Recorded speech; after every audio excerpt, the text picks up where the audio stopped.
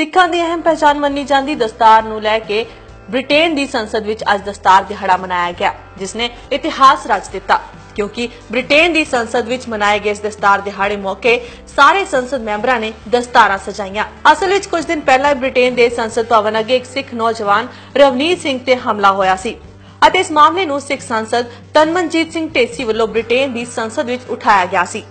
ਜਿਸ ਤੋਂ ਬਾਅਦ ਜਿੱਥੇ ਸੰਸਦ ਦੇ ਸਪੀਕਰ ਨੇ ਇਸ ਘਟਨਾ ਤੇ ਮੁਆਫੀ ਮੰਗੀ ਸੀ, ਉੱਥੇ ਹੀ ਸੰਸਦ ਵਿੱਚ ਟਰਬਨ ਡੇ ਮਨਾਉਣ ਦਾ ਵੀ ਫੈਸਲਾ ਲਿਆ ਗਿਆ ਸੀ।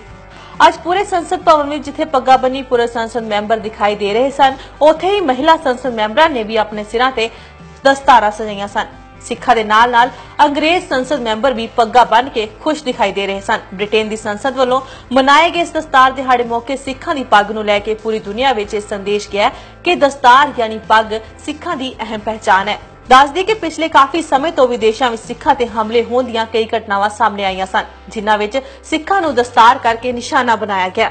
ਇਨ੍ਹਾਂ ਘਟਨਾਵਾਂ ਨੂੰ ਰੋਕਣ ਦੇ ਮੱਦੇਨਜ਼ਰ ਇੰਗਲੈਂਡ ਦੇ ਸਿੱਖਾਂ ਦੇ ਉਪਰਾਲਿਆਂ ਸਦਕਾ ਹੀ ਯੂਕੇ ਦੀ ਸੰਸਦ ਵਿੱਚ ਇਹ ਦਸਤਾਰ ਦਿਹਾੜਾ ਮਨਾਇਆ ਗਿਆ ਜਿਸ ਨਾਲ ਵਿਸ਼ਵ ਪੱਧਰ ਤੇ ਸਿੱਖਾਂ ਦੀ ਦਸਤਾਰ ਨੂੰ ਲੈ ਕੇ ਵੱਡਾ ਸੰਦੇਸ਼ ਗਿਆ ਹੈ। ਵਿਦੇਸ਼ਾਂ ਵਿੱਚ ਵਸਦੇ ਸਿੱਖ ਪਿਛਲੇ ਕਾਫੀ ਸਮੇਂ ਤੋਂ ਪੱਗ ਸਮੇਤ ਹੋਰ ਧਾਰਮਿਕ ਚਿੰਨ੍ਹਾਂ ਦੀ ਲੜਾਈ ਲੜਦੇ ਆ ਰਹੇ ਨੇ।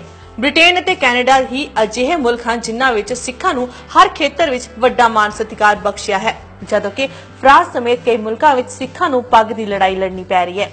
ਹਾਲੇ ਵੀ ਸਿੱਖਾਂ ਨੂੰ ਸੁਰੱਖਿਆ ਜਾਂਚ ਵਿੱਚੋਂ ਗੁਜ਼ਰਨ ਲਈ ਕਈ ਥਾਵਾਂ ਤੇ ਪਗੜੀ ਉਤਾਰਨੀ ਪੈਂਦੀ ਹੈ। ਵਿਦੇਸ਼ਾਂ ਵਿੱਚ ਵਸਦੇ ਸਿੱਖਾਂ ਦਾ ਕਹਿਣਾ ਹੈ ਕਿ ਆਪਣੇ ਧਾਰਮਿਕ ਚਿੰਨ੍ਹਾਂ ਨੂੰ ਲੈ ਕੇ ਉਹਨਾਂ ਦੀ ਲੜਾਈ ਜਾਰੀ ਰਹੇਗੀ। ਇੱਕ ਨਾ ਇੱਕ ਦਿਨ ਉਹਨਾਂ ਨੂੰ ਕਾਮਯਾਬੀ ਜ਼ਰੂਰ ਮਿਲੇਗੀ। ਬ੍ਰਿਟੇਨ ਦੀ ਸੰਸਦ ਨੇ ਦਸਤਾਰ ਦਿਹਾੜਾ ਮਨਾ ਕੇ ਯਕੀਨਨ ਤੌਰ ਤੇ ਸਿੱਖਾਂ ਨੂੰ ਵੱਡਾ ਮਾਣ ਬਖਸ਼ਿਆ ਬਿਊਰੋ ਰਿਪੋਰਟ, ਸਪੋਕਸਮੈਨ ਟੀਵੀ।